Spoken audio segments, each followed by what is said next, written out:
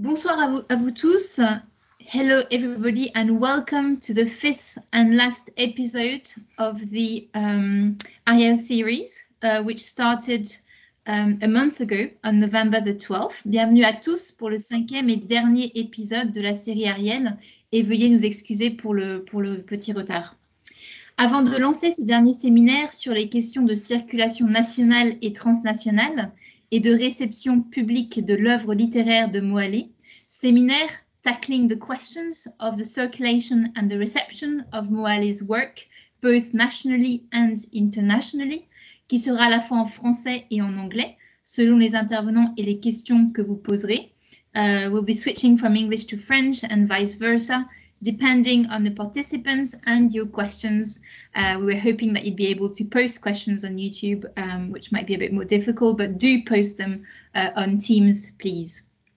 Avant de lancer ce séminaire, permettez-moi, comme chaque semaine, de remercier l'équipe Ariel, sans laquelle ces événements live ne pourraient pas avoir lieu.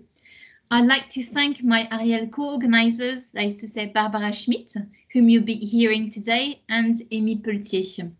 Nos sponsors aussi, qui nous ont permis d'accueillir Moalé, l'Université de Lorraine, l'UFR Halle Nancy, euh, l'IUT Nancy Charlemagne, notre laboratoire de recherche IDEA et la métropole du Grand Nancy. Merci à tous les organisateurs de cette série euh, d'épisodes, Monica, Marilyn, Nathalie, Claire et Estelle, ainsi qu'à nos formidables assistants de recherche qui chaque semaine sont aux manettes de la communication et de la promotion de ces séminaires sur les réseaux sociaux. Lisa, qui, a, euh, crée tous les, très beaux flyers d'ailleurs que vous pouvez voir chaque semaine, mais aussi Pauline, Delphine, Élise, Eraste et Victoire. Cette série de, de cinq, cinq, épisodes a été organisée par IDEA euh, pour nos collègues et nos étudiants de master monde anglophone à Nancy, mais elle a aussi été pensée pour vous tous afin de vous faire connaître Mohale et son univers littéraire. The IR series has been organized by both our colleagues and students, and it's been put together for them but it's also for all of you watching us tonight. And I hope that there are many of you watching us uh, on Teams uh, this evening, despite the burning current events and the other broadcasts competing with us tonight in France. D'ailleurs, je précise, nous attendons vos questions, euh, vos remarques donc sur Teams dans la partie commentaires. Euh, N'hésitez pas, elles seront relayées, bien sûr, de les poser après chaque intervenant. Vous pouvez aussi voir et revoir les séminaires précédents sur la chaîne YouTube. Un dernier merci et je finis par cela parce que sans eux, euh, nous ne pourrions être avec vous ce soir.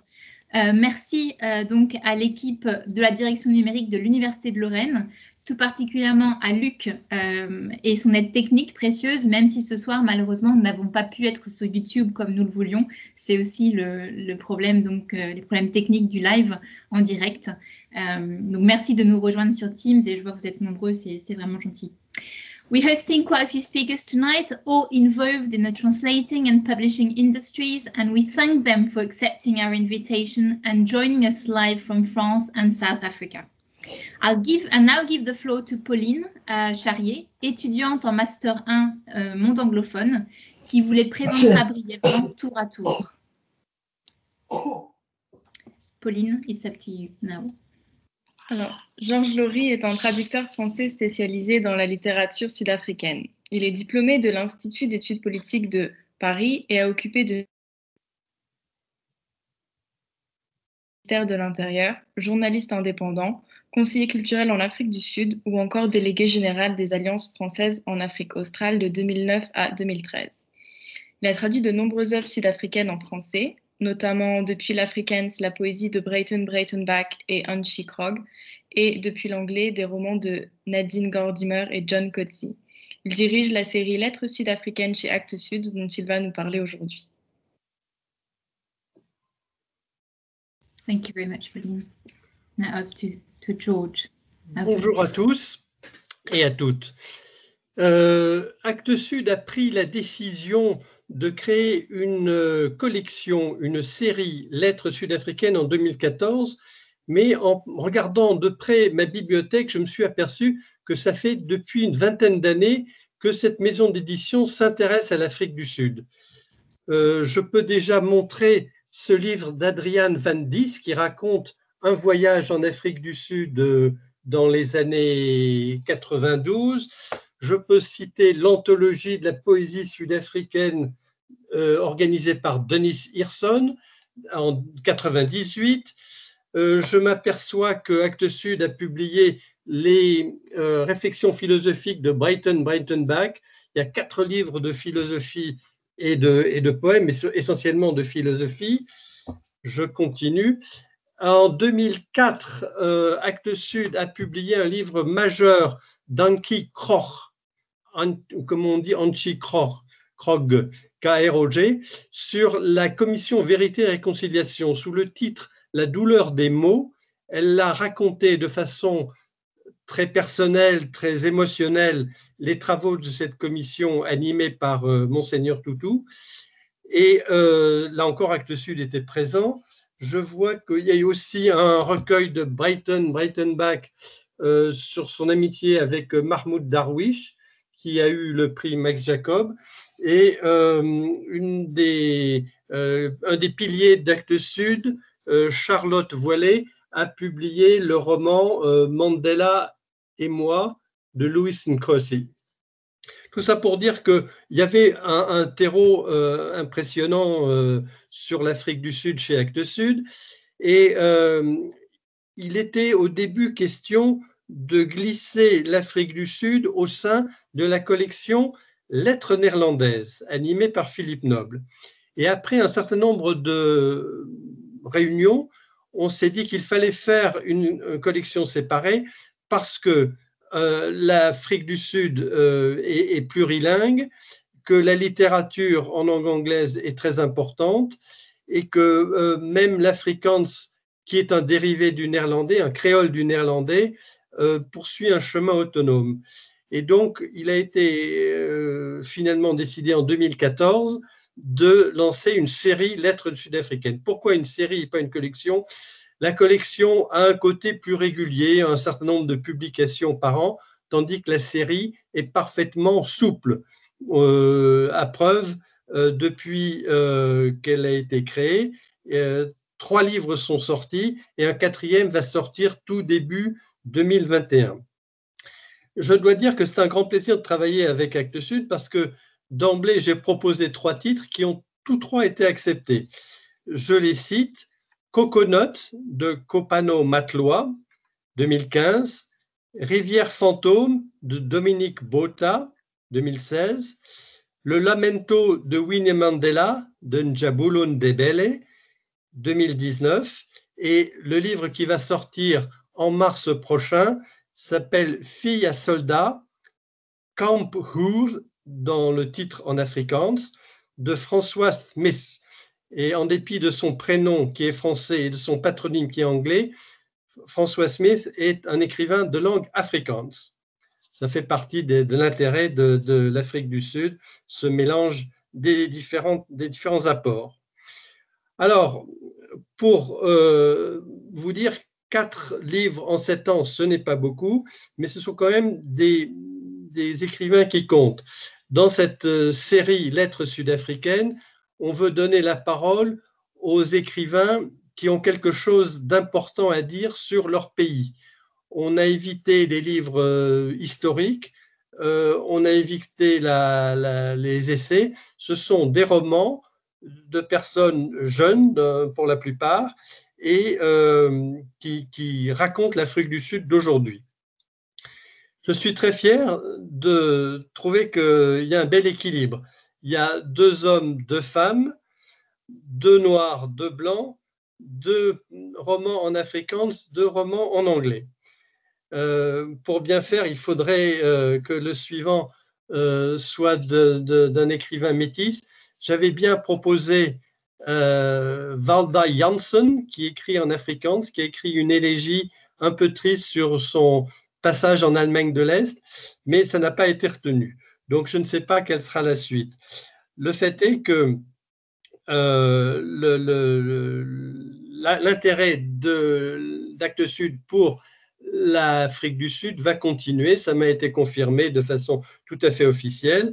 Donc, on, c'est un petit peu un message à faire passer qu'il y a une possibilité d'éditer des romans sud-africains chez eux. Vous trouverez que quatre livres en sept ans, c'est pas beaucoup. Alors c'est vrai qu'au début, ça a très bien commencé. Ensuite, vous vous souviendrez peut-être que la responsable d'Actes Sud a été nommée ministre de la Culture, donc c'était un peu euh, délicat. Il y avait tout un tas de, prises de décision qui ont été retardées. Ensuite, il y a eu engorgement de, manuscrits chez Actes Sud, et c'est pourquoi le livre de Njabulun Debele, le Lamento de Winnie Mandela, a pris tant de temps à sortir, puisqu'il n'est sorti que fin 2019, alors que la traduction remontait déjà à 2016. Heureusement pour euh, Actes Sud, pour moi, pour tous ceux qui s'intéressent à, l'Afrique du Sud, la littérature en Afrique du Sud est riche et euh, j'espère bien que ça continuera et plutôt un rythme soutenu, ça vaudrait mieux. Je voudrais juste dire un mot, s'il me reste un peu de temps, sur les problèmes de traduction d'écrivains sud-africains en français. La majeure partie des écrivains écrivent en anglais.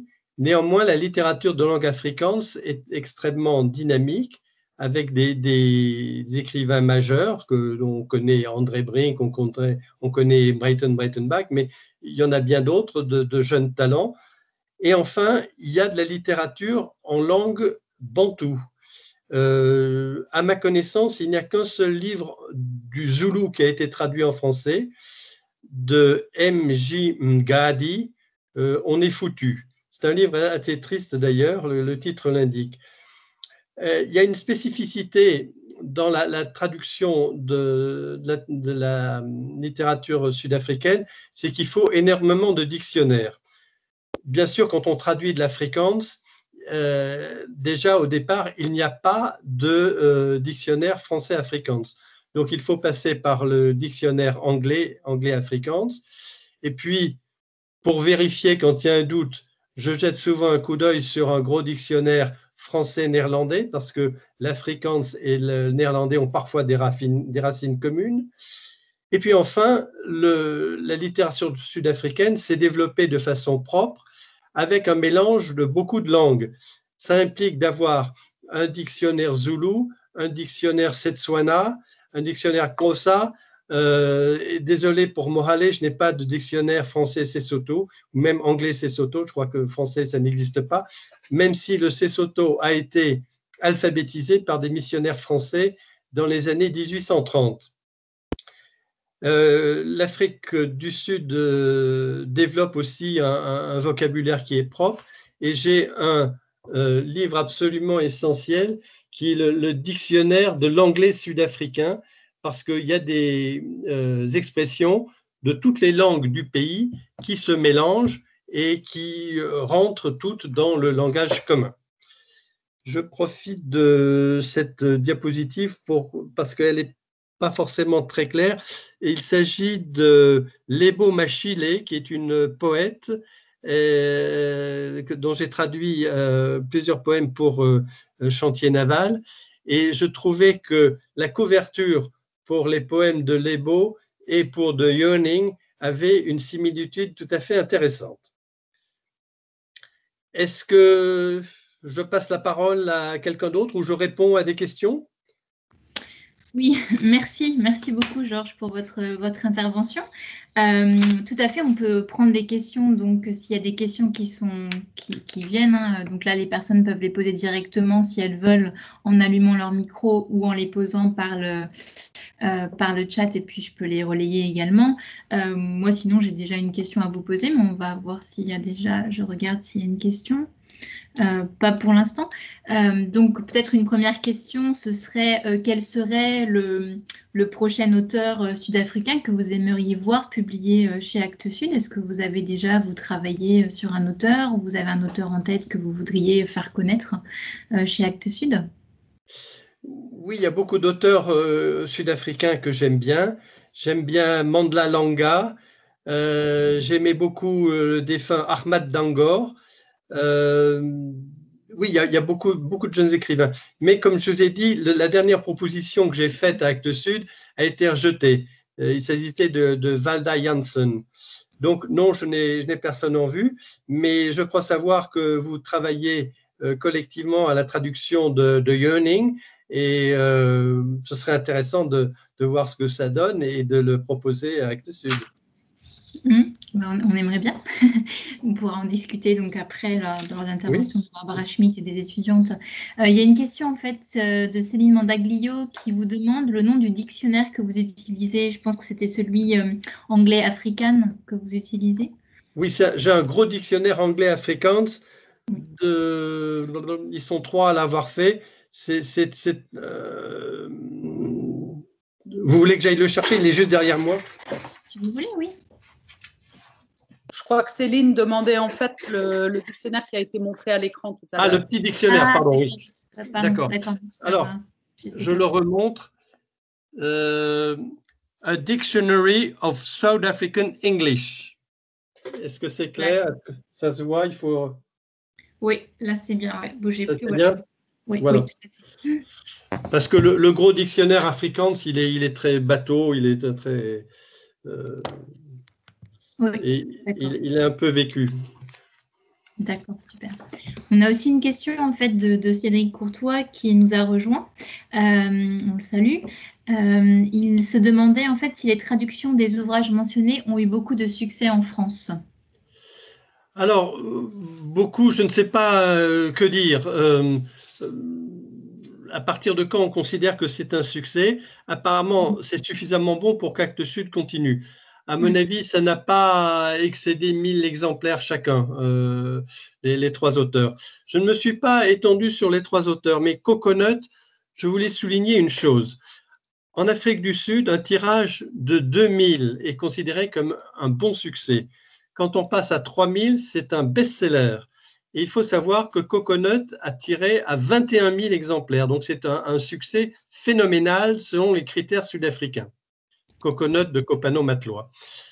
Euh, donc c'est pour ça que je trouvais ça intéressant. Ce sont les interrogations euh, de deux jeunes filles nées après l'apartheid et qui évoluent dans cette société sud-africaine où le mot apartheid n'intervient d'ailleurs jamais, mais où les tensions ou les incompréhensions demeurent importantes.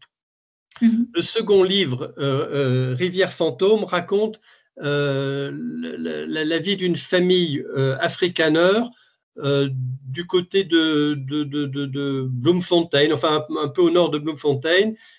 c'est dans, une ville agricole et le suicide du frère aîné que l'on voit en un petit garçon sur, sur, la couverture mm. et qui raconte les années 80, 90 en Afrique du Sud, le, changement, les premières élections démocratiques.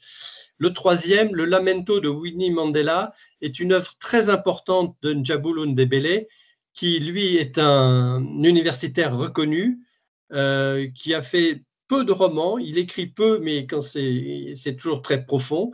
Il est, il, est, il est, philosophe dans son sens, et euh, effectivement, le Lamento de Winnie Mandela est une œuvre romanesque autant que philosophique. Et en tant qu'écrivain noir, il peut s'autoriser à demander très clairement à Winnie Mandela si elle n'a pas fait de grosses erreurs euh, quand elle est revenue à Soweto euh, dans les années 90. 80-90. Donc, euh, ces, trois, ces trois auteurs me paraissaient tous très importants et représentatifs d'une certaine Afrique du Sud d'aujourd'hui. Mhm. D'accord. Merci beaucoup, Georges. Euh, donc, s'il n'y a pas d'autres questions, peut-être qu'on peut vous reprendre euh, après, euh, lorsqu'Andreas se sera, aura fait sa petite présentation, puis ça serait intéressant d'avoir un échange entre vous deux, je pense. Oui. donc, Pauline, si vous voulez bien intervenir pour présenter, merci beaucoup, hein, Georges, merci pour votre intervention, puis on vous retrouve tout à l'heure. Pauline, si vous voulez bien intervenir et présenter Andrea, merci beaucoup. Andrea Nattrass is a publisher at Pan Macmillan South Africa since February 20, uh, 2010. Um, she and her team are responsible for publishing Pan Macmillan South African authors, producing around 20 books each year. Their focus is on celebrating African excellence and on sharing these fiction and non-fiction titles with readers in South Africa and around the world. A contribution of today is entitled Literary Prizes in South Africa, celebrating the writing of Mohale Mashigo. Thanks very much. It's wonderful to be here. Um, that introduction pretty much sums up my role. I work in a very small team. There are only three of us, and we produce between 20 and 25 titles a year. Interestingly, the South African market is very focused towards nonfiction. Um, so in a year when I'm publishing 20 books, 15 of those will be nonfiction titles and five of them will be um, fiction titles. If you just go to the next slide, Celine, then you can just see an assortment of the books that we publish in any given year. It was interesting to hear some of those names, like a Professor Njabulo Ndebele. He's one of our authors. We published recently an edition of The Cry of Winnie Mandela as well. Um, so you can see a real mix of fiction, non-fiction, uh, current affairs, politics. Um, but one of the things which we really love doing is we love finding new voices. And many of you might be aware of the Mohale Mashigo story, but Mohale is an author that Pan Macmillan South Africa is very proud to publish. Um, she's currently working uh, on a new novel for us um, that we hope to publish in the course of 2021. So that's very exciting. But the books that she's published to date with us, if we can go to the next slide. The books published to date are The Yearning, Beyond the River, and a short story collection, Intruders. And I just thought it would be interesting for you to get a sense of the sales that we see in South Africa. We typically sell 2,000 copies of a fiction title and 1,500 copies of a short story collection. These are lifetime sales that uh, we've got here, um, and they're composed of a trade paperback edition, a paperback edition, ebook sales, and then something like Lightning Source, so print on demand. But you can see that The Yearning has been a runaway bestseller in our part of the world, selling over 7,000 copies. I had to include just the one that was uh, 7,001 were the sales figures that I saw this year. Um, Beyond the River was an adaptation of a script um, for much smaller market. Uh, it's a school educational book. And then Intruders, the wonderful short story collection, which you've been working with and which students are translating. And it's going to be very exciting to see that with its gorgeous co cover is uh, something which has sold 2,634 copies.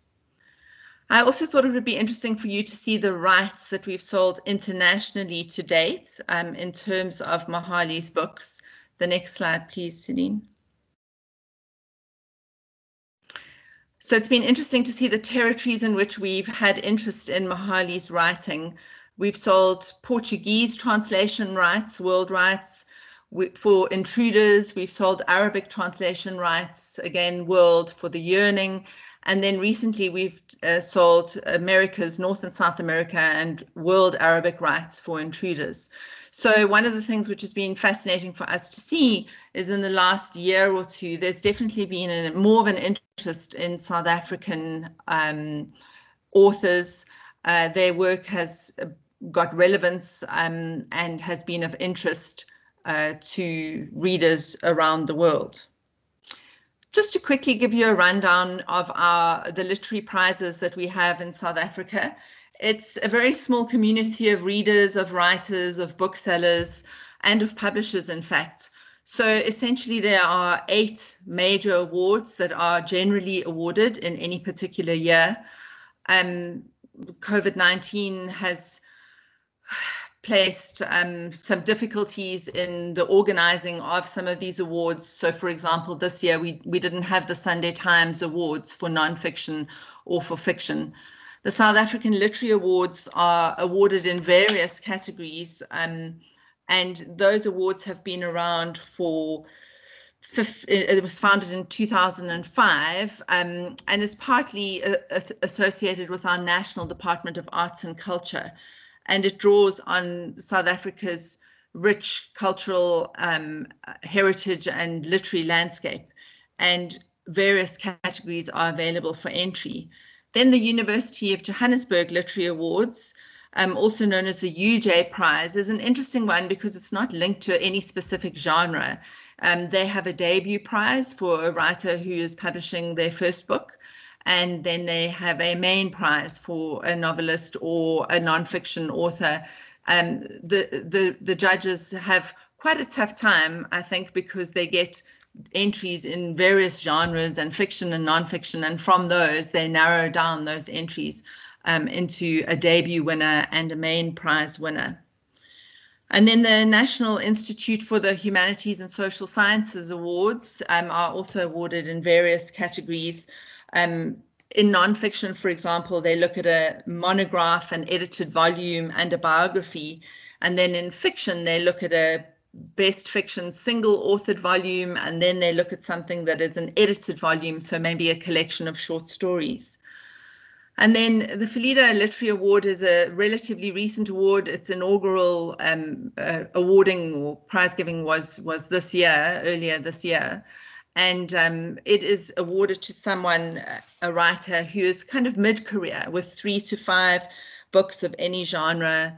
Um, it's an award that was established by Karina Brink, who is the in memory of her late husband, um, the renowned author Andre Brink and it recognizes a, a, an author with a consistent record of publishing works of excellence, and it aims to encourage them further in their pursuit of a literary career. And then the Nommo Awards are specifically um, presented by the African Speculative Fiction Society, and they recognize works of speculative fiction by Africans, African writers, science fiction, fantasies, stories of magic and traditional belief, alternative histories, horror, and then their catch-all strange stuff, which is a wonderful category to have. And then an interesting one, the Nine Mobile Award, it was known as the Etisalat Award. That is a prize that was, uh, and I say was because um, it, it hasn't been awarded in the last few years, because the Etisalat company changed names to Nine Mobile, and at the same time they appear to have gotten into financial difficulty. But at the time when it was being awarded, that was the, the richest literary prize that was available in Africa. There are a few international prizes that South African um, authors are eligible for. If you go to the next slide. That's, there's the International Dublin Literary Award. That is an award where um, librarians around the world uh, nominate their favorite titles for a particular year, and then a long list is drawn up, and from that, a short list. So it's it's a, book that uh, I mean, it's an award that South African librarians can nominate um, their favorite authors for, and then the International Booker Prize. But what is interesting is it's not enough simply for a book to be available um, internationally to be eligible for the International Booker Prize. Rather, it has to be specifically published by an international publisher. So it's not simply about availability. And then just to celebrate a little bit Mohale's own achievements, the prizes that she has won um, in the South African context. The Yearning, which was published in 2016, was the winner of the University of Johannesburg Prize, debut prize, um, in 2016. It was also longlisted for the International Dublin Literary Award, and it was shortlisted for the South African Literary Awards First Time Published Author Award. So it's a novel that has received much critical recognition um, in the form of the shortlistings and the winning of the UJ Award, as well as doing um, remarkably well in terms of um, sales in our market. In addition, Ghost Strain N, which is one of the um, short stories that is in Intruders, was longlisted for a 2019 Nommo Short Story Award. And then finally, um, I was talking about it a little earlier. Mohale was the inaugural winner of the Philida Literary Award in February 2020. And it was before lockdown, before COVID really hit, and we were able to have a wonderful ceremony honoring Mohale and the work that she's done and to continue encouraging her in terms of the right the work and the writing that she continues to do. Thank you. Any questions? Okay, thank you very much, Andrea, for this um, brilliant presentation, which tells us a bit more about uh, prizes um, and the representation of South African literature on international scene. Um, so I think I know uh, George has some questions for you. Uh, otherwise, I've got some as well. uh, and I'm sure that um, some of our viewers will have questions as well. Um, George, I don't know if you want to start asking your questions, or I mean, you can um, you can well, ask them. One thing I, I wanted to make sure with you, Andrea, the Sunday Times Literary Award uh, have has a, a jury of judges which changes every year. Is that correct? Um, it's a jury of judges that generally changes every year, although one or two of the judges might remain the same. Sometimes the person who is chairing the fiction or chairing the non-fiction will remain for a year or two and then work with different judges. That's mm -hmm. something I appreciate because in all literary jury, uh, the judges are uh, elected uh, for life, which is a bit uh, worrying sometimes. Yeah, I think it's important to have fresh, fresh eyes and fresh voices, um, allowing people to appreciate different genres and you know different talents. I saw that um, there was a special literary prize for Khoisan languages a few years ago. It's something which is not going to repeat. No, I, I, I, I know the award that you're thinking of, and I think that it was a once-off award honoring um, five. The, yeah, those languages. Yes. Okay. Unfortunately, there's no, you know, there's no publication particularly mm -hmm. because obviously it's a language that is um, sadly very much close to extinction. Yes. Mm -hmm. Um, I don't know if you, we've got a couple of questions from our viewers as well. So yeah. I see that. Add some more. Um, would yeah. would I consider Pan Macmillan as a window giving visibility Af to African authors abroad? I mean, I'm biased because I'm the publisher, and obviously we do what we can in terms of promoting uh, visibility. I don't know if Mohale maybe wants to jump in here. Um, mm -hmm. She, uh, her books have seen great sales via the ebook platform and via the Lightning Source print on demand platform. So I would feel that her books are getting visibility? Yeah, it's it's very difficult for South African authors to kind of get their books, you know, in, into other regions. Um, you have to have an agent. You have to be like super well known or whatever. And I think, in my opinion, uh, my publishers have done everything in their power to get um, my books in in the hands of readers abroad. And I know it's not all publishers that do that. And I'm not just saying that because I love my publishers, but I do think that at Pan Macmillan, they, they really do try to get the books abroad. So they are the ones who push you to actually publish or to to uh, take part in uh, competition, literary competition, or this sort of thing. So is that you who sort of um, try who try on your own? I really don't get involved in being nominated for uh, literary prizes because I'm sure Andrea will tell you that it's the publishers that usually put books forward. Right. Yeah, the publishers are the ones that nominate prizes um, or nominate authors and works for prizes. Mm-hmm. Um, what we do is we have to obviously keep our ear very close to the ground because sometimes international awards open up for one reason or another, perhaps to the Africa region. So through the um, Publishers Association of South Africa, uh, all the publishers are kind of kept abreast of what are the awards internationally that um, our books are potentially eligible for and you know what are the criteria and how do you go about entering them um, someone else asked what is the percentage of south african books translated into foreign languages in europe and the rest of the world um, you know, sadly, that percentage I would say is very small, uh, maybe between five and 10% of all the titles that we publish. We've got a wonderful and thriving local publishing industry, but it's a, an intriguing thing where we are often told that our books are too South African to translate well. Um, and, you know, at the same time, we uh, find that a book um, such as Shuggie Bain, for example, that's just won the Booker Prize, um, does incredibly well in South Africa. So I don't always buy that argument that South African books wouldn't translate well um, into an international audience. But it is um, a fairly isolated market, and so there's there's difficulty. Um, you know, you need to work with literary agents. Um, and you need to have access to the book fairs where rights are being bought and sold. And that's not always possible when you're on the southern tip of Africa. I mean, ironically, the COVID 19 and the lockdown has opened up a lot of that to virtual book fairs, and we've been able to have meetings with people that we haven't necessarily had meetings with. Um, just as an interesting point, one of the markets that is very uh, relatively strong for South African um, and African publications is China. Um, I work with ANA Beijing, and they do a great job in terms of finding um, authors, uh, uh, finding publishers who are interested in the books published by, and that's fiction and nonfiction, by South African authors. Um, and then the last question that I can see here, do South African publishers encourage writers to compete?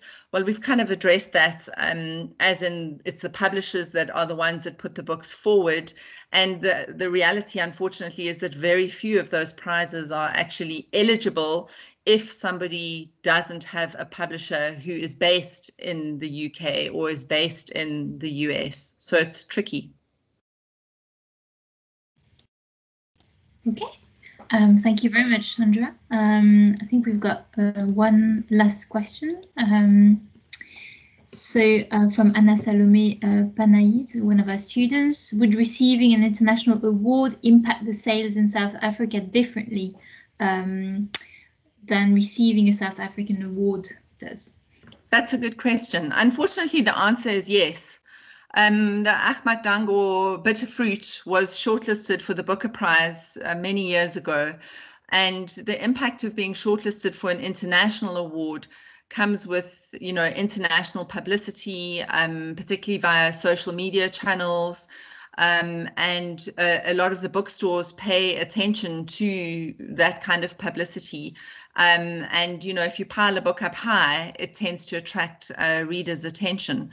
Um, certain of the South African awards, the Sunday Times Literary Awards for Fiction and Nonfiction, and the University of Johannesburg Awards in particular, do have um, an impact on sales. But for the most part, what is really valuable about the prizes in South Africa is that there tends to be a small amount of prize money, which is given to an author. And that allows that person to pursue their writing um, and to make time for their writing because it's very hard. Ask Mohale, she will tell you to be a full time author.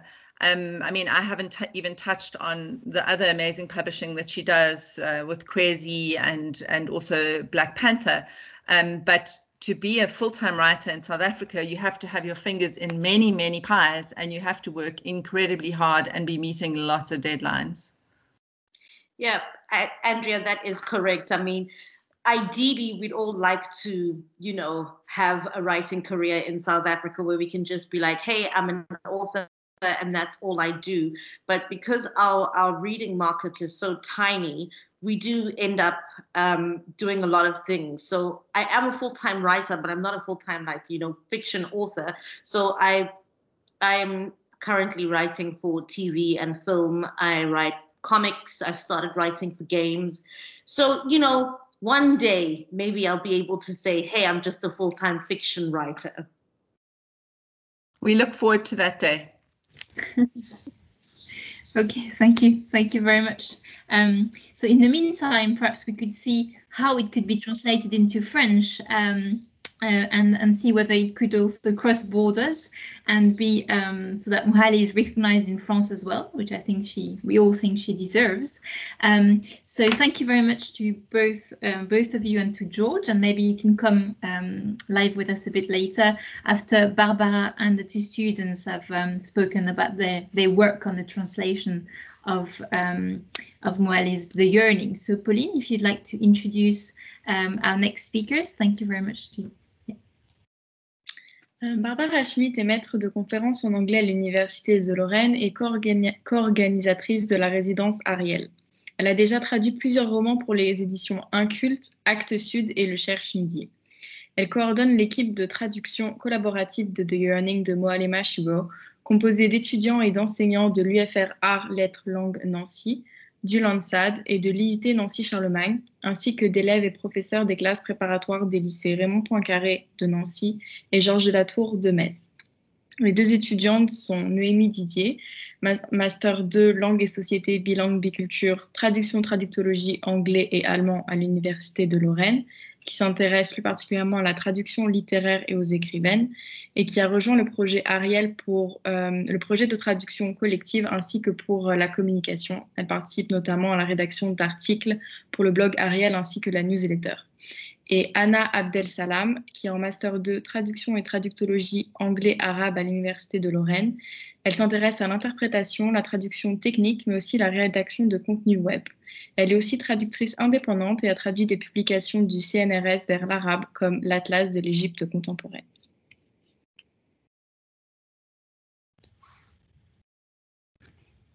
Merci Pauline.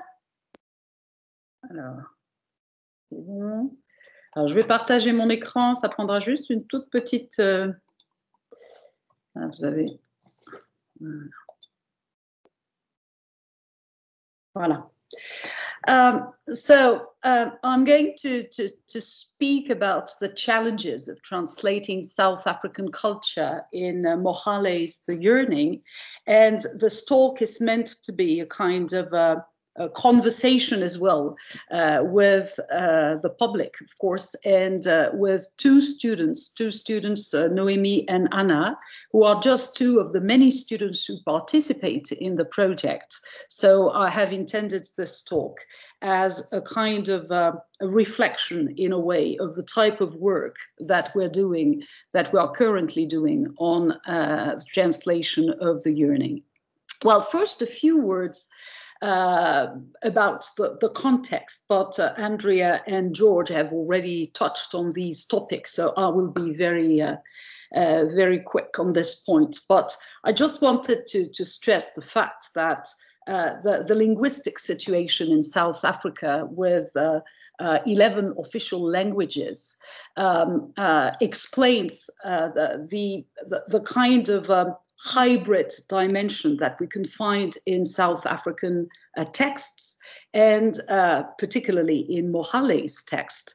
And uh, only, well, according to a census, a 2011 census, only 11% of South Africans have English as their first language, uh, which means that most of the novels of the South African texts written in English are already a transposition of uh, the South African uh, worldview of the South African universe of discourse, uh, to quote Lefevere, uh, into another universe of discourse or into another worldview, uh, which means that, and this is part of our challenge, uh, that if we want to translate uh, a South African text written in English into French or into any other language, it means a kind of double transposition process as Paul Bandia uh, explains uh, more particularly.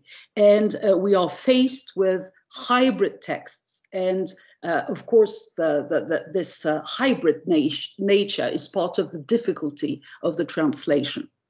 But uh, what I would like to, to, to, to show here, what I will try to show, is that I, I really think uh, that translating a South African novel into French is possible to answer uh, Andrea's uh, question, uh, or at least uh, the remarks that she has heard quite often on the subject. Um, the first thing I think, I guess, that we have to keep in mind when we translate such a text is that um, the English is chosen, of course, not necessarily because it is the first language of the author. Mohale's first language is not English, as she says. Well, her English is beautiful. We would all like uh, speaking like her, but uh, it's not her first language. It's not a mother language. Um, uh, for obvious reasons, uh, most um, uh, African, South African writers write in English or Afrikaans, I guess. I don't know about the proportions, and this is not my point here. And uh, for a very long time, there has been this opposition, in a way, that was introduced by the colonizers uh, between uh, the tradition of oral literature in African languages and written literature uh, in English uh, well, things may be changing a lot, maybe changing a bit with uh, some texts uh, published in African languages, but I guess that the proportion is still a, a very tiny proportion. So what I think we have to keep in mind when translating a book written in English, but a South African book written in English, is that uh, English um, is the language of the colonizer. Uh, well, I've read that it was sometimes uh, preferred to Afrikaans, which uh, represents apartheid and which is the symbol of apartheid, so that English was used to, to, to fight against Afrikaans. But English is also a means to impose a, an alien worldview on Africans, or at least has been a means to impose an alien worldview on Africans, and has been instrumental in uh, essentializing Africans uh, as, uh, and I'm quoting here the beautiful poem by Koleka Putuma uh, when she says that uh, uh, well, colonization and English, the language in particular, has reduced Africans to a mass of blackness. So we should be aware of uh, this uh, of this choice of writing in English, which is not an obvious choice for a South African writer. And I've just quoted uh, two authors who disagreed uh, on the topic. On the one hand, Ngugi wa Thiong'o, who thought that killing a language was like uh, killing a, a, memory bank, a people's memory bank, and who wrote himself uh, in his own African language and then self-translated uh, his um, his novels so as to be read by a wider public. And on the other hand, Chinua uh, Chinua Achebe, uh, who uh, admitted that uh, writing in English was like a, a, dreadful betrayal and produced a guilty feeling, but to him, there was no choice because if he wanted to be read by a wider audience, then English would be the language to choose. I've insisted on this because uh, in Mohale's text, of course, the text is in English, but obviously uh, the, the subtext uh, the ethnotext, uh, to quote Chantal Zabus, uh, is typically South African. And it is especially this subtext that will have to translate. And probably uh, the, the, most important part of the translation will be uh, to translate this subtext. I mean that linguistically speaking, of course, we do have issues to address, but it is especially the translation of the South African culture, how to express the South African culture in French, uh, French with another worldview, French with another uh, universe of discourse. And this is what we are trying to do uh, with our team. So just a few words about uh, the Ariel team. It's uh, made up of many students, well, I would say about 50 of them, uh, divided into groups. And each group uh, is going to work or is working at the moment uh, on a part of the translation with uh, a teacher or a lecturer as a kind of supervisor. Um, and uh, we are currently uh, in the first stage of the translation, which is to, to read the text, understand the text, and try to to translate, but it's just the first stage of the translation, to translate what we have understood from the text. And uh, the difficulties that we are faced with, as I've said, are first maybe uh, all the expressions, all the words in uh, in uh, in African languages. Uh, there are words in uh, Sesotho or Sepedi. Uh, I think it's the same in isiZulu, in Afrikaans sometimes. And of course, we need to understand what is said, and the presence of Mohale with us is a great is a great thing because it means that we can ask questions. What do you mean, Mohale? Uh, is it Sepedi? Is it isiZulu, etc., etc. So it's uh, it's a great opportunity for us, for the whole team. We have already organized a meeting to ask the different questions that we had so far. Um, what makes things quite easy from this point of view is that even if there is, uh, uh, uh, well, switching from one language to another throughout the book, which is simply a reflection of South African reality. And Mohale insisted that she wanted to give this reality that sometimes in South Africa, uh, people do not uh, necessarily understand everything that is said because uh, of people switching from one African language to another African language. So this reality we want to express in the French version, and we have decided, of course, to, to keep uh, the African languages, the African sentences, the African, uh, the African, um, um, yes, the African sentences as they are. And uh, this is facilitated for us by uh, the, the use that Mohale uh, makes of, uh, of the technique of cushioning, uh, to quote Chantal Zabus again. Um, uh, I have uh, included two examples here, uh, two examples of how Mohale uh, allows the reader, any reader, including uh, the English reader here, or the, uh, the English speaking reader, to understand uh, the expressions in African languages, because in one way or another, she's going to, to explain in a very subtle way sometimes, but she's going to explain the context, and we can all uh, more or less understand what is uh, being said, even uh, when the, uh, the characters speak uh, African languages.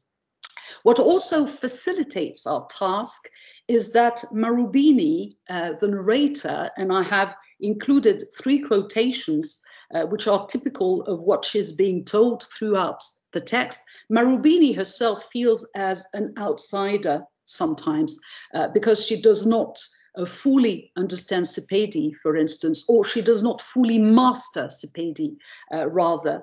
And uh, she, she's called a township uh, child. Uh, her Sepedi is said to be diluted. And her point of view, in a way, is a kind of well she acts as a kind of go between uh, between uh, the the European reader here uh, in our case and uh, and the text itself uh, which facilitates our task in a way because we are introduced not only to African languages, but also to uh, the African uh, culture uh, through the eyes, sometimes of a little girl, because there are uh, many passages in which we have the point of view of Marubini as a little girl. And um, her perception of, uh, of the little township girl is a facilitating factor for the translation because not only for the African languages, but also, uh, for instance, when she speaks about uh, healing, uh, she sees this from the outside. She seems to be discovering the world, uh, the world that she's being shown, and uh, it is easier for us to approach it in a way. So thank you, Mohale, for this. Um, concerning the translation itself, uh, we agreed from the start that we didn't want the translation to be what uh, Appiah calls a thick translation, that is, an academic translation, which would use uh, footnotes and endnotes to explain absolutely everything about South African culture. This is not, of course, what is expected uh, of such a translation. Um, besides, and I uh, completely agree with this, uh, uh, and I'm reading, I'm quoting from Ashcroft in The Empire Writes Back, uh, when he says, a glossing gives the translated word and thus the receptor culture the higher status. And um, I would quote um, an article that I read in which the translator spoke about an encounter uh, with an African writer, and in, he asked the African writer. I can't remember exactly uh, which country he came from, but he asked the, the English speaking African writer uh, if he wanted him uh, to, to, to, to include footnotes uh, to explain some of the words.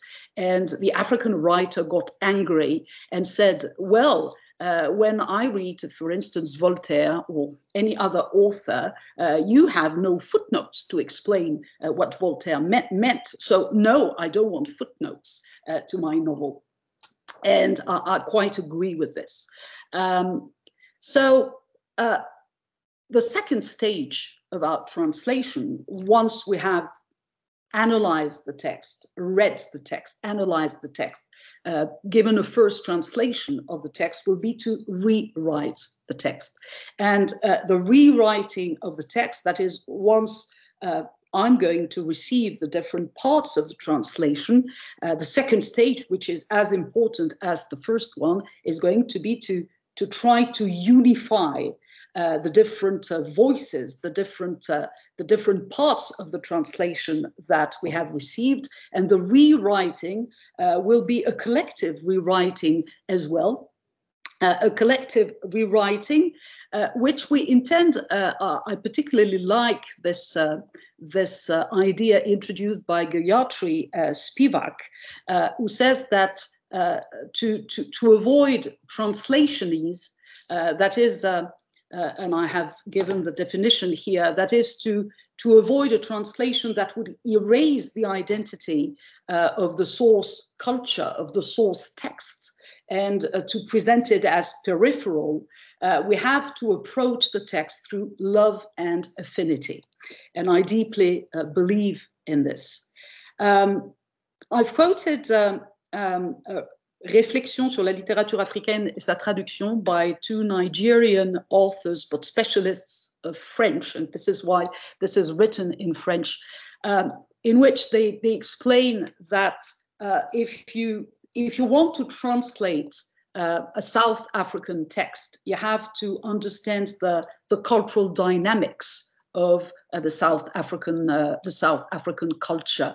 So uh, they they insist on uh, the cultural uh, element, uh, the crucial cultural element that has to be developed if you want your translation to be successful. And I think that with the whole team, we are particularly aware of this.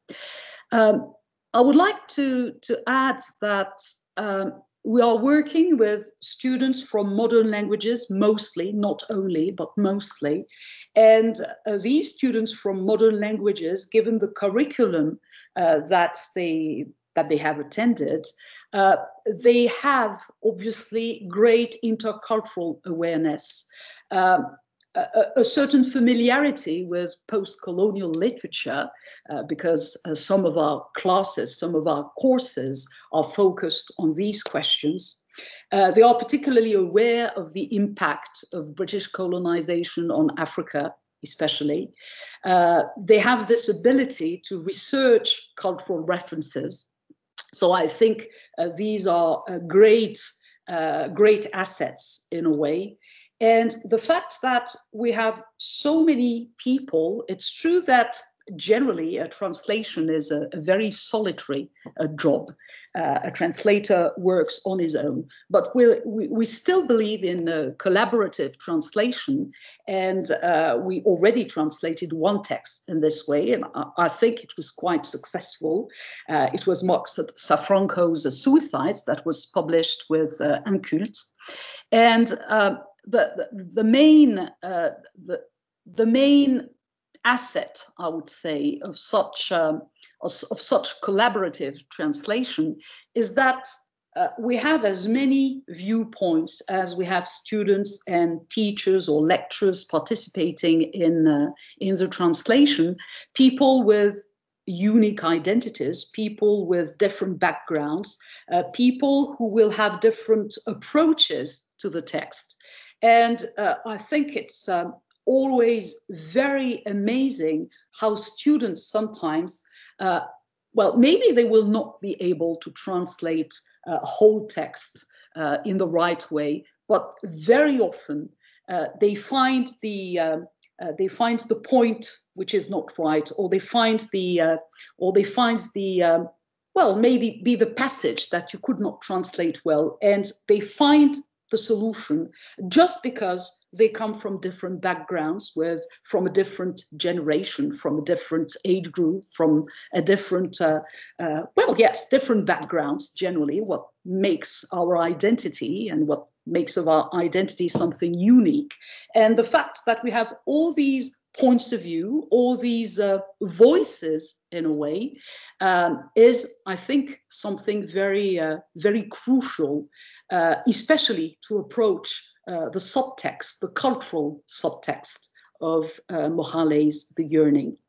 Well, uh, now the challenge, of course, through the final rewriting will be to unify the different voices into one recognizable voice, which will express uh, the South African voice that Mohale's is conveying uh, through her text. And I, I, would just conclude by saying that uh, I've reread uh, The Yearning, and the more I read it, the more I love it, Mohale. I think it's, uh, it's really a beautiful text. And I guess that if our translation is successful, uh, it has to be able to translate, or rather to express maybe, uh, all the silences of your text. Georges was speaking earlier about all that was not said in one of the books, the fact that apartheid, for instance, was never mentioned. Uh, apartheid is mentioned maybe once directly in Mohale's book, but it's present in the background. It's everywhere. Uh, and it's everywhere, especially in the silences of the text. And uh, I guess that uh, a successful translation will be a translation which will be able to, to convey the silences of your text. Well, I'll read um, um, a first excerpt that we have translated, but later I would like uh, first to uh, to ask uh, Noemi first, I guess, uh, to comment on a few passages on the on the difficulties uh, that uh, the different groups could be faced with when they translated the text. Noemi? Yes, thank you. So um, when we first met for the translation, we discussed a few main points that we would follow through the old translation and one of them was about the sentences and words that aren't in English in the text. And I think we all agreed right away to keep them as they were, because if it was written that way in uh, the text, we should keep it that way in the translation. So here you have an example of a discussion between Marubini, the um, narrator, and Makosha, her mother, and as you can see, Makosha uh, switched from one language to another, and the characters always do this in the whole novel. And so you might not understand what Makosha, uh, Makosha says, but uh, you have uh, an insight thanks to Marubini's thoughts just after it. So as you can see, Makosha speaks, and then Marubini's tells herself what her mother just told her. So you don't understand what is written, but you do understand what is written thanks to Marubini. Uh, so as you can see in the translation, we kept the words as they were. We just uh, put them in italics. And then the translation explains. So, ces menaces de m'abandonner et de me laisser sans famille pour s'occuper de moi était toujours suivi de ses plaintes d'avoir mis au monde une enfant si égoïste alors qu'elle était une femme si pleine de bonté, et comme toujours, sans exception, le rappel cinglant que mon père n'était pas là.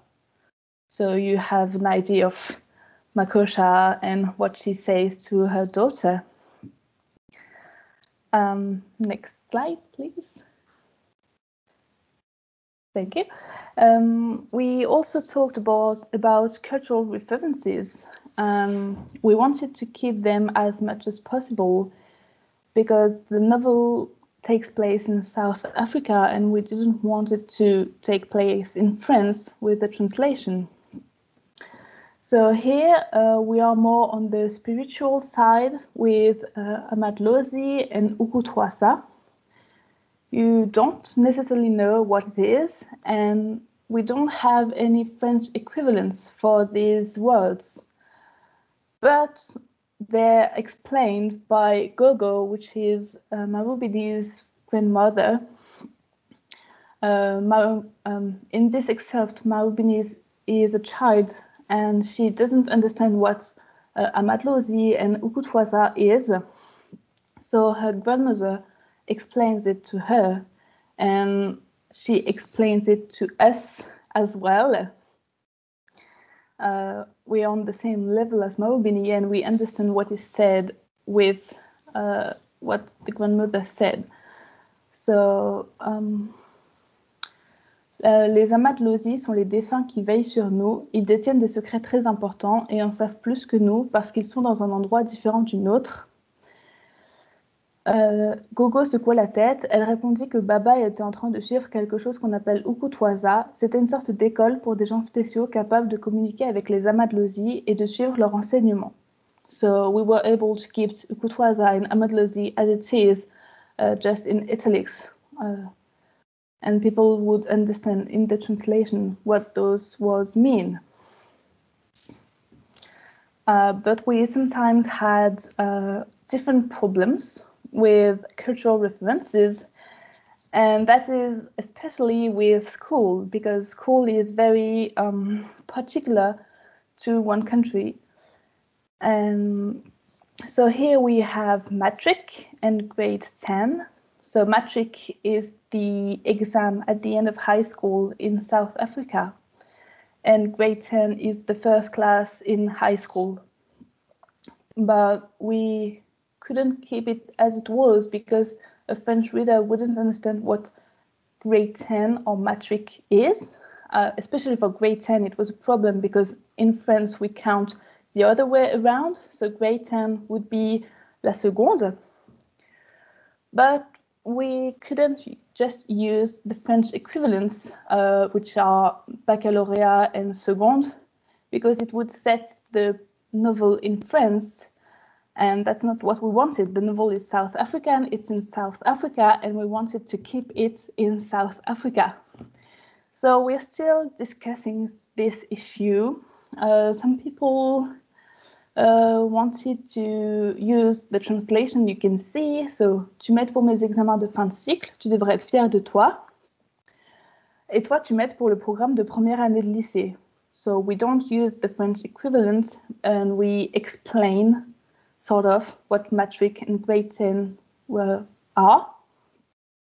Some people would also want to keep matric uh, to keep a, a South African um, insights, um, but uh, use another sentence to grade for grade 10. So, for example, uh, tu devrais être fier de ton souvenir, ça fait déjà deux ans pour toi.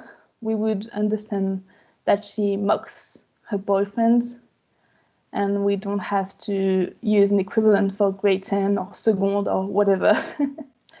so, here you can see that it's sometimes really hard to make sure that the reader could understand what is said without being ethnocentric by adapting it and using French equivalents. And this is still something that we need to discuss and talk about. Thank you. So, Anna?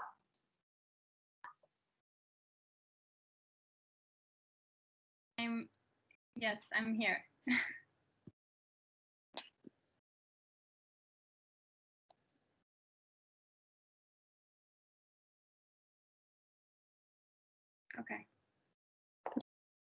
Um, hi, everyone. So I am mostly going to talk about words or phrases that we had trouble translating in the novel, um, even as a group, because we had different opinions about um, how to translate them or about how or what these words or phrases meant in English to begin with. So to start at the very beginning, I'm going to talk about the title of the book that is actually um, yet to be decided. So we started off with Professor Schmidt's proposition of um, La Nostalgie as a translation for uh, the yearning, which most of us agreed on, even though um, we suspected it might give us a hard time later since the word yearning is repeated several times throughout the book. So the word we were to choose had to go with the context every single time and that was over 20 times. So we had to take into account over 20 different sentences while choosing the right word. We um, also looked for the translation of the word yearning in the Bible, just to try to keep any religious overtone the word might have. Um, and we ended up finding frémissement des entrailles, um, mes entrailles qui frémissent, which literally translates to shivering of guts which which didn't work out for obvious reasons. Um, then there was the proposition of the word la which translates to the quest in English, which, as opposed to nostalgia, who can only refer to the past, can be applied to the future as well. And we do have the phrase um, yearning for the future in the novel that got us to rethink nostalgia as a translation for yearning. Um, but setting aside all the recurrences of the word in the novel, we still need to think about whether La Quête would sell or not.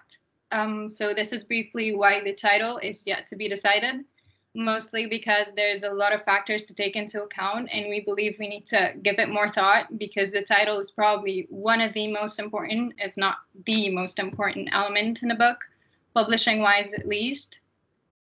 Um, and then moving on to the dialogues, the most recurring problem, as Professor Schmidt and Noemi stated in their presentations, was of course that of the words in South African languages and how it um, how it affected our understanding of certain phrases like um, when are you gonna come and help Kadi arrangement? I'm doing the flowers, but it would be nice if you could help.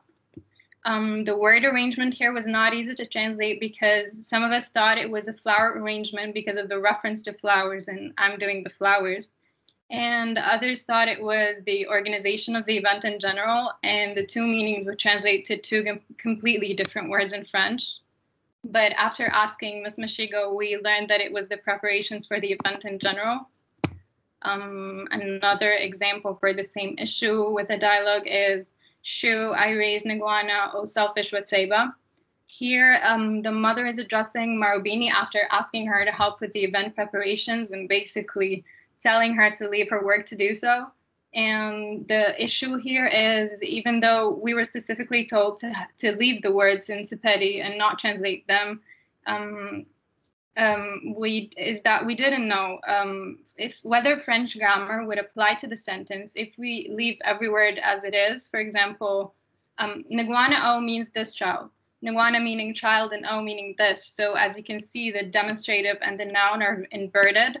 So we're not sure whether j'ai élevé Ngwana O um, égoïste would be better, or maybe just translate the O. So it would be j'ai élevé cette Ngwana égoïste which can be more understandable linguistically, at least to French readers. Um, I mean, you can immediately understand that Ngwana means child or daughter, as opposed to J'ai élevé Ngwana Owatseba, where it is, um, I guess, less apparent. Another example is Ma, which is how Marubini calls her mother. So in French, there is maman, which normally translates to mom in English and would fit just fine here. But we decided it was best to keep how Marubini called all her family members, so Ma, Baba, and Gogo. Um, and we were right to do so because later on she talked about how her brother called their mother Mom. Um, so we would have needed to keep Ma to show to show the difference between the two, Mom and Ma. But for Gogo, for instance, that meant grandmother. We weren't sure about keeping it at first because we weren't sure it would be clear enough to the readers that Gogo and M's grandmother were the same person. But we eventually decided to keep it since Gogo was repeated over 120 times throughout the book. So we figured it would be okay to leave it as it is. And we think it was obvious enough in the book that it refers to the grandmother. So we kept it. Um, another minor issue here was that of the culinary references like soft porridge and popping chicken um, our, our opinions were divided for the first one between keeping soft porridge as it is or translating it literally to be porridge doux, for example, or giving it a more explicit equivalent like um, um, like a porridge de sorgho or um, bouillie de maïs for pap and chicken. The same three options for pap and chicken, but it is yet to be decided as well. So um, this is the end of the examples we decided to go over today because they don't need a lot of context to be understood by everyone watching us. But I guess um, a lot of things helped that we didn't have plenty of issues in the translation of the book or complete blanks at least because for one having an extra set of eyes always helps you see things you probably wouldn't notice right away let alone if you have 20 people translating the same text although it takes relatively more time to choose the best sentence in every single passage of the book.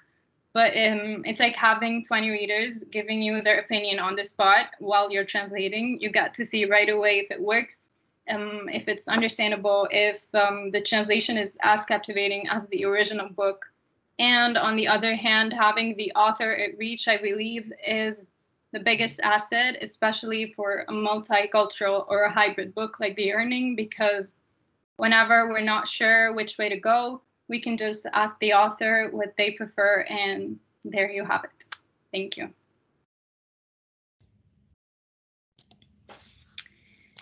Okay. Merci. Je prends le temps de lire un extrait de notre, de notre traduction, peut-être? Absolument, absolument, Barbara, oui. Alors, je vais, euh, je vais m'y mettre. Alors, c'est un extrait, c'est au début du texte, quand, euh, euh, quand la, la grand-mère euh, grand-mère de Marubini euh, lui raconte pour la xème fois l'histoire de sa naissance. Donc, c'est une histoire qu'elle lui raconte. Donc, c'est la grand-mère qui parle, qui parle à Marubini et qui lui raconte pour la énième fois, le jour de son anniversaire, l'histoire de sa naissance. Et c'est un passage très important parce que euh, c'est une histoire qui, fait que Marubini se sent, se sent spécial. Ta mère Makocha était assise sur le step, le step et elle se faisait les dents sur un caillou. Ma pauvre fille était enceinte jusqu'aux yeux. Elle n'était vraiment pas bien. On était persuadé que tu serais un garçon car la grossesse l'avait vraiment enlaidi. Toko faisait cuire quelque chose qui sentait fort dans la cuisine, si bien que je me suis assise sur le step. Maman, j'ai peur, a-t-elle seulement pu me dire. Toko s'est détourné de sa concoction odorante pour venir me saluer. Notre petit-fils ou notre petite-fille veut rester bien au chaud, dis-moi. Jaboulani s'affairait à porter mes bagages dans leur seconde chambre, tandis qu'on se moquait gentiment de Kocha, en soulignant combien tu l'enlaidissais. Les gens de Soweto se plaignaient de la forte chaleur. Moi, je vis dans la chaleur. J'y fais pousser ma nourriture. J'ai même élevé un enfant sous ce soleil implacable. Toko a dit qu'il allait bientôt pleuvoir. Il n'y avait pas un nuage à l'horizon, mais je l'ai cru. Ta mère venait de commencer son jardin. Le soleil l'empêchait de fleurir. Il n'a pas plu depuis des semaines. C'est rare en été à Johannesburg, a dit Makocha pour expliquer le pitoyable état de son jardin. Toko lui a apporté une tasse de son bouillon odorant et s'est assise à mes côtés. Nous sommes restés là, toutes les trois, à regarder en silence le jardin pathétique de ta mère. Toko m'a regardé et m'a dit Je disais juste à Makocha que Jaboulani pouvait aider à faire venir le bébé, mais elle n'a pas l'air convaincue. J'ai souri car Makocha détestait parler de sexe avec moi. Elle savait exactement quelle serait ma réaction à la remarque de Toko. Oh, s'il vous plaît, Mme Toko, ne lancez pas ma mère là-dessus, a-t-elle répondu, du gravier rouge dans la bouche. Quand elle était enceinte de toi, elle avait une envie irrépressible de sentir le goût de la terre, plus que tout autre. J'ai souri et sorti des cacahuètes de ma poche. Toko disait pile ce que j'avais moi-même expliqué à ta mère. Juste avant que ton père ne vienne me chercher, J'étais en train de dire à une voisine que le sexe était la meilleure technique pour te faire venir plus vite. C'est une recette connue pour déclencher une naissance. Maman, les infirmières de la clinique m'ont dit qu'il suffisait que je marche. Que tu marches où? Et tu préfères écouter les infirmières que ta propre mère, alors que des centaines de femmes m'ont confié leur fille. Aïe Maria, tu sais bien que les enfants ne font jamais confiance à leurs parents, a lancé Toko en faisant signe à sa bru de boire la concoction. Makocha a reposé la tasse et tenté de se lever. Sa robe était mouillée, le bébé arrive. Jabou Ah, ma fille. Elle a beau être entourée de femmes venues l'aider à, accoucher, mais elle appelle son mari. Jabou est sortie en courant de la maison, mais Toko lui a fait signe de rester à l'écart, et elle m'a aidé à emmener ta mère dans la chambre. Oh, cette scène qu'elle nous a faite. Elle hurlait qu'elle voulait voir son mari, et se comportait comme si elle était la première femme au monde à donner la vie. Toko l'a prise par le visage, l'a regardée dans les yeux. Ce n'est pas un endroit pour un homme. Ses douleurs vont s'intensifier mais ton bébé et toi savez exactement ce qu'il faut faire, Sissi. Ta mère a semblé se calmer un peu. J'étais debout à la fenêtre de la seconde chambre que Toko avait préparée pour nous. Ne t'inquiète pas, Wena Toko. Cette tête de mule n'est pas encore prête à arriver. Laisse ma coche hurler jusqu'à ce qu'elle n'en puisse plus. Finalement, ta mère a arrêté de pleurer et nous lui avons expliqué exactement ce qui allait se passer. Ces choses, elle les avait déjà entendues, mais elles lui faisaient soudain peur. Ce qui s'est ensuite passé, personne ne peut l'expliquer. Je savais que tu étais sur le point de sortir et la chambre s'est assombrie tout d'un coup. Toko se tenait à la fenêtre. Elle a dit qu'il allait pleuvoir. Impossible de savoir, bien sûr, mais j'ai eu l'impression que tu es sorti au moment même où la pluie a commencé à toucher le sol.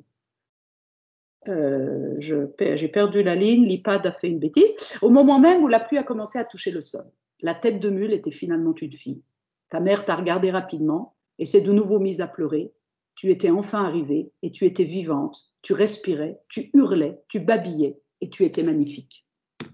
Voilà, alors c'est une première étape hein, de, la, de la traduction, mais c'est un, passage qu'on a, a traduit avec le groupe notamment des, des étudiants de, de master bilingue.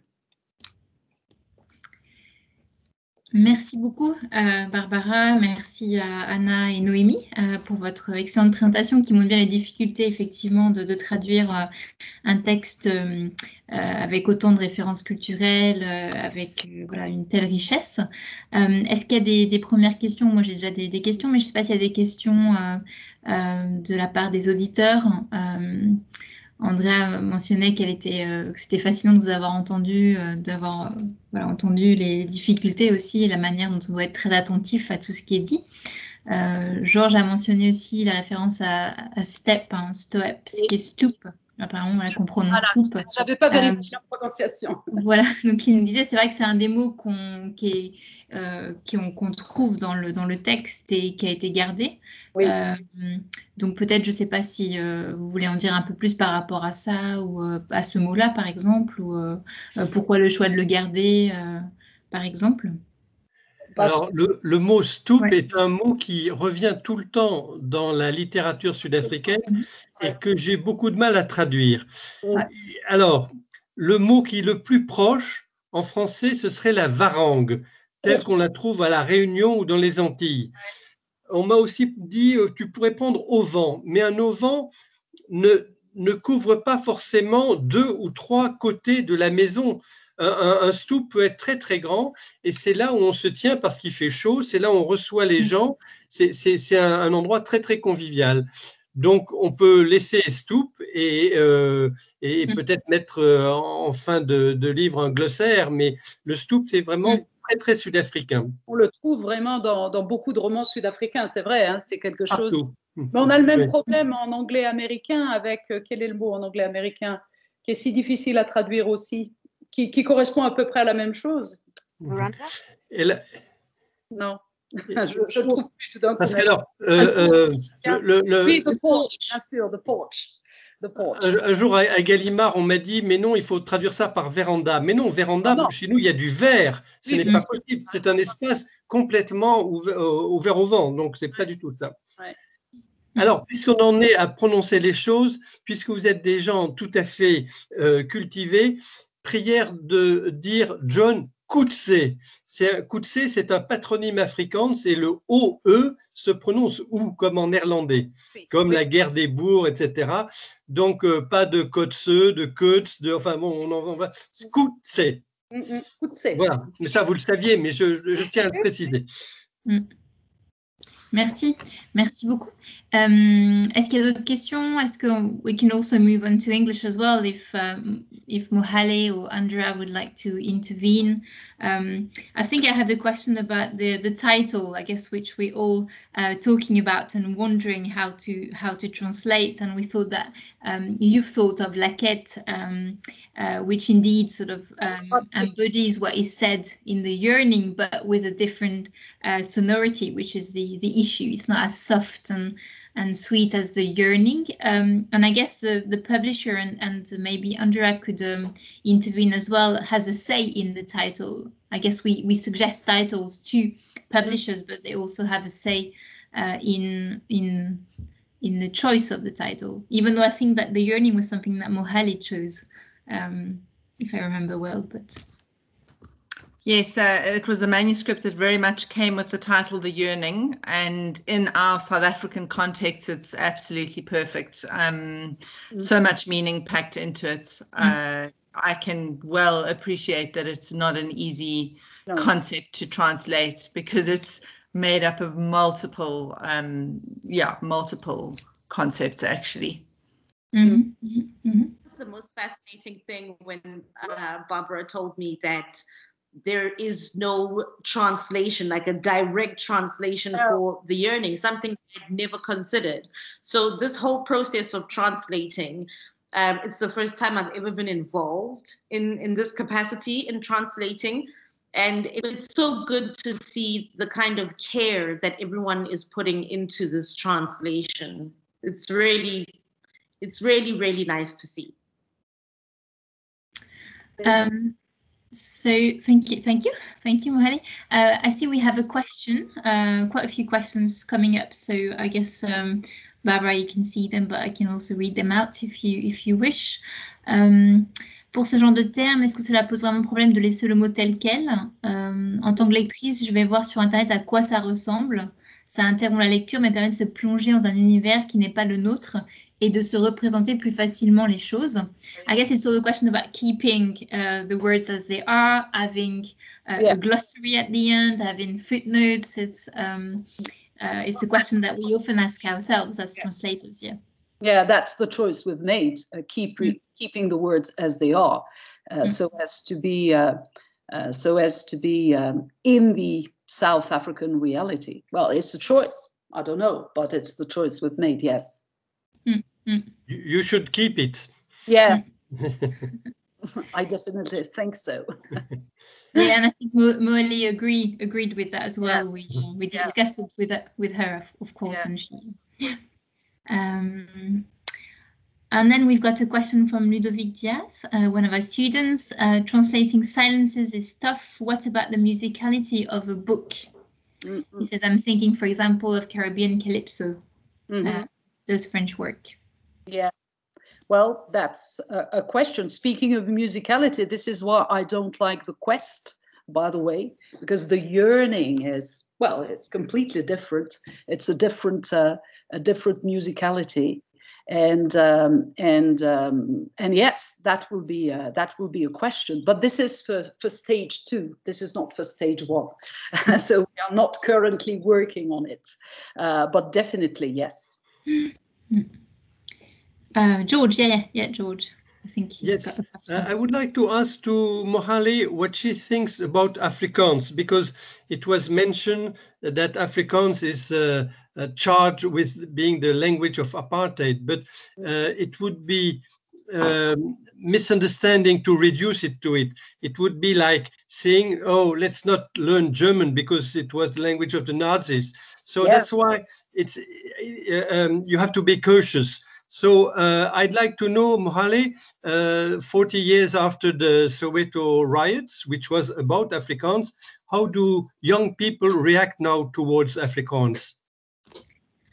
Well, I I can't speak for all young people, but there is definitely a division for some who feel that it's the language of the oppressor, and others who know that Afrikaans has got a very um, it's layered because there are a lot of um, this is a word we only use in South Africa. There are a lot of colored people whose first language is Afrikaans, and that would be taking away from their heritage.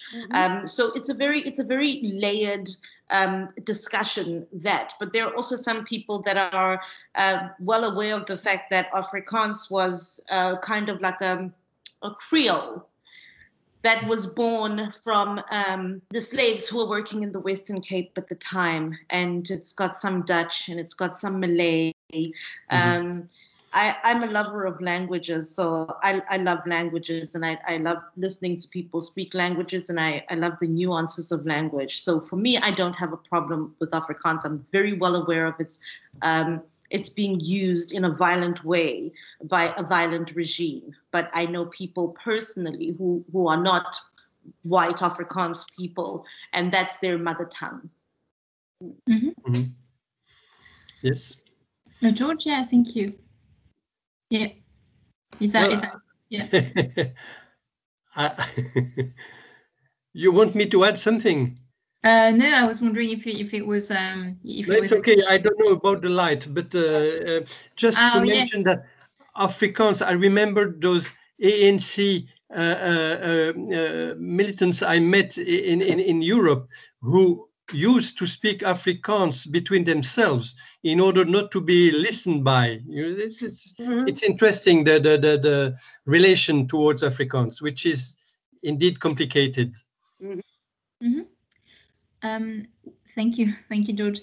Uh, we had another uh, remark from Antonella, one of our colleagues, who says that she thought of the, the, the word calling that appears at the end of the volume, whether it could be, I guess, Antonella, you wanted to say whether it could be a possible title or, or you want you wondered about the meaning of the word calling. I don't know if you would like to uh, specify. I'm not sure what she what she meant. Um, yes, she thought as a title uh, for the yearning as well. Whether we've thought about that or. Yeah. Mohale explained that the calling was uh, an alternative title, if I remember well, because the calling is the calling uh, to be to be a healer. Yeah. Yes. So that was one of the options um, really early on, and I just felt that it was um, it, it reduced the story Yeah, to just that. Yeah. Yeah. Mm-mm. Yeah. But I don't know if in, in French it would have a, a, a different context. Do you know what I mean? But in, in the in the South African context, I just Yes, l'appel. What? Why not? Mhm. Mm. I guess it's there's more liquid, but I don't know if it's nicer or if it's more. Yeah. It's more Mm. specific to, Mm. to this in particular. Mm-mm. and also I don't know how it would translate in, in the prologue. Um, Yeah, the yearning hurts that's him. the problem. The It's yearning the problem. hurts me. Why have you used the yearning in the prologue, would have been would have been so easy for us otherwise.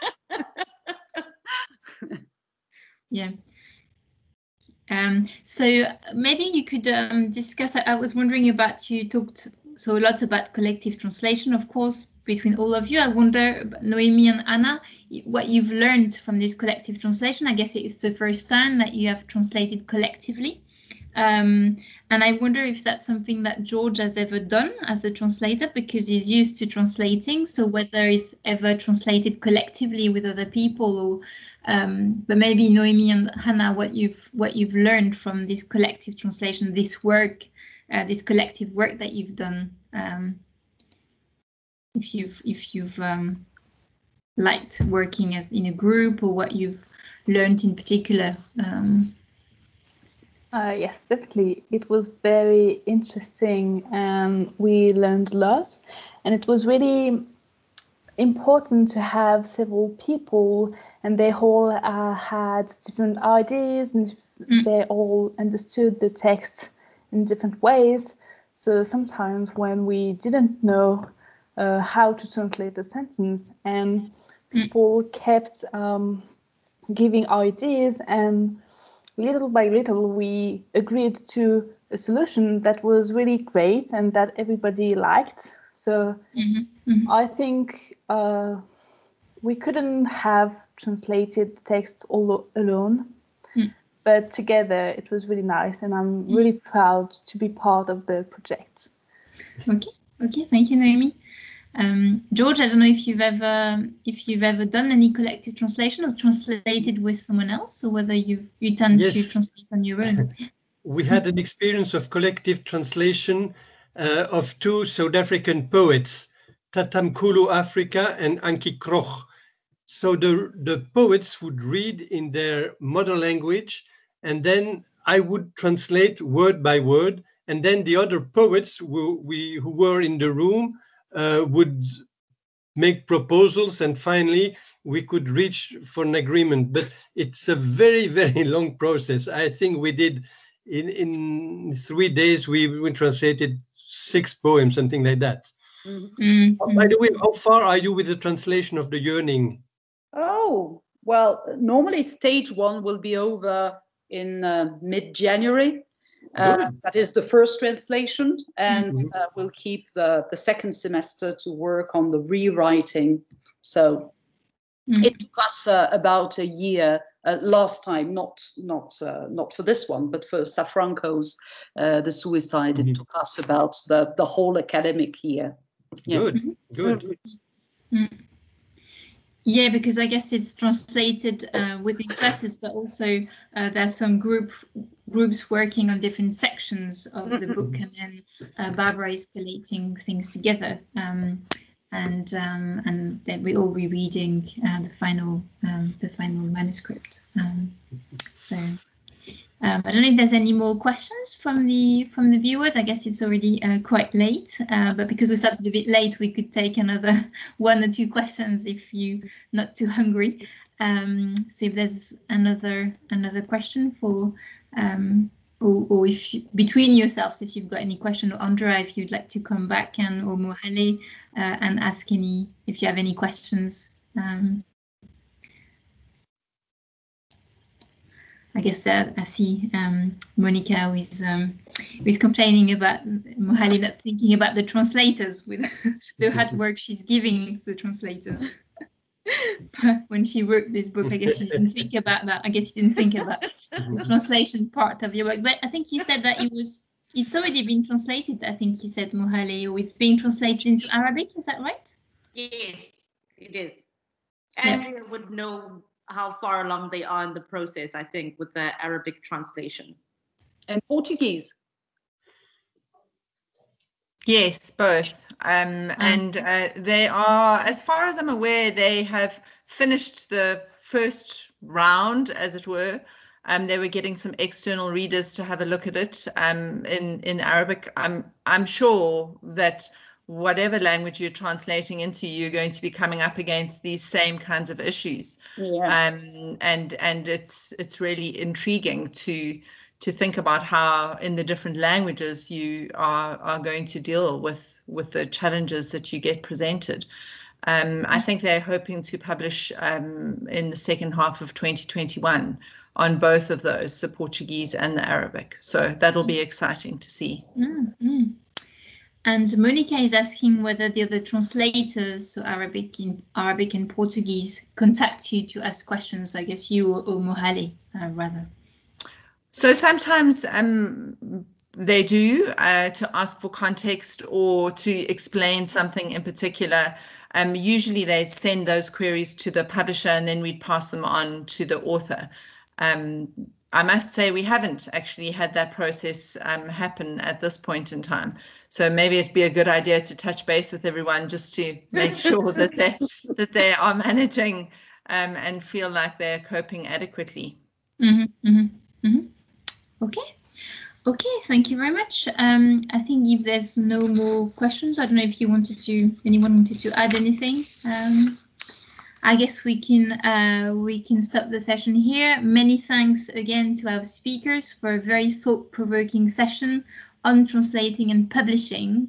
And thanks a lot um, to all of you for attending this closing session. Uh, thank you also for coming on Teams. It will be uh, put on YouTube a bit later, so you'll be able to view it again for those who, who would like to watch it again, or for those who haven't been able to join us today. Please follow our program uh, on our Ariel website um, and all the well-known social networks, uh, Facebook, Twitter and Instagram. Don't hesitate to watch the All Ariel series on YouTube. Um, N'hésitez pas à acheter les livres de Mohale, et notamment The Yearning en anglais ou en français. Um, when it will be published, when it is published, quand il sera publié. Thank you again. Bye for now and please take care. Thank you very much. Bye bye.